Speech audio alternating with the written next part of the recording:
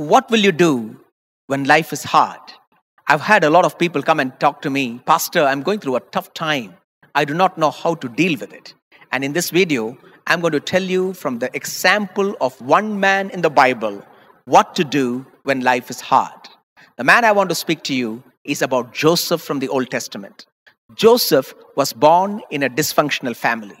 His father was not all that godly, even though he was born in a godly home. His father had two wives, two concubines, out of whom he had 12 sons, one after the other. Can you imagine Joseph growing up in such a home and the tension that is there in that family? To add to his woes, at a very young age, Joseph lost his mom, Rachel. Joseph, being the father's favorite son, his brothers hated him. One day, as Joseph went to find the whereabouts of his brothers, they found a great opportunity to assassinate Joseph. But his elder brother Reuben was little kind. They ripped him off the father's favorite coat that Joseph had and put him in an empty well. And as they were sitting to eat, they saw a caravan of Ishmaelites going to Egypt. And Judah thought, why not sell Joseph to these merchants? For 20 shekels of silver, Joseph was sold to the Ishmaelite merchants. Now, as a slave, Joseph is going all the way to Egypt. Joseph was born into a dysfunctional family. He lost his mother at an early age. He was taken away from his loving father, stripped of the coat that his father has given. One moment he was in the cistern, empty well. The very next moment he was sold and on his way to Egypt. In Egypt, we know the story of Joseph that he was bought over by Potiphar, Pharaoh's official, and brought to his house as a slave. There he prospered. He came into the position of responsibility. But very soon, Potiphar's wife found a liking for Joseph and called him to bed with her. Joseph resisted and ran away from that place, but it did not go well with Potiphar's wife. She accused Joseph of misconduct, and her husband put him in prison. Can you imagine the life of Joseph? From one failure, he may think that he's going to the next failure. He's going down into the dumps. But look at Joseph's life. He was faithful, he feared God, he trusted God. He knew that in the midst of all these difficulties, God is working through his life and God has an amazing way to turn around his life. We know the story. Here comes the cupbearer into the prison cell with some accusation. And Joseph interprets a dream for the cupbearer and tells him, When you are rescued out of the prison, remember me. He expected that people would help him.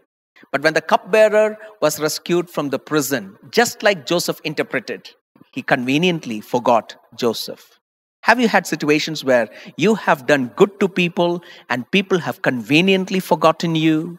When you need them most, they are not there for you. Joseph faced such a situation. But God was orchestrating every event in Joseph's life. One day, King Pharaoh had a troublesome dream. There was nobody to interpret this dream. And the cupbearer remembered about Joseph. And soon Joseph was summoned to Pharaoh. He interprets the dream. Pharaoh is very pleased with the dream and the interpretation and releases Joseph out of prison and makes him the prime minister, the second in command over Egypt. Oh, what a change in Joseph's life. Years of failures he felt, years of going to down to the dumb experience. But at God's appointed time, God lifted up Joseph.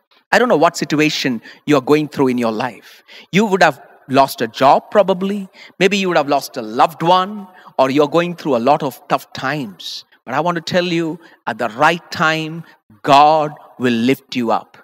Joseph's life became more than he dreamed, more than his expectation.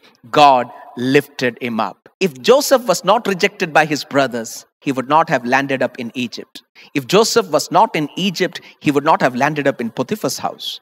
If Joseph was not rejected by Potiphar's wife, he would not have ended up in jail. And had Joseph not been in jail, he would have not met the cupbearer. Had he not met the cupbearer, he would have not met Pharaoh. Had he not met Pharaoh, he would not have become the prime minister of Egypt. You see how God brought all these pieces together to fulfill his purpose in Joseph's life. And Joseph trusted God.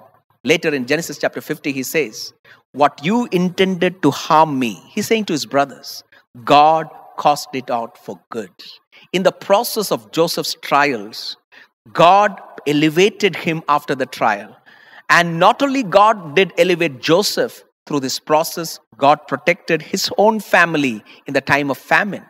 He provided them grains, he provided them a land in Egypt, and in the process, the line of the Messiah was protected. Jesus Christ came through the line where Joseph had to struggle.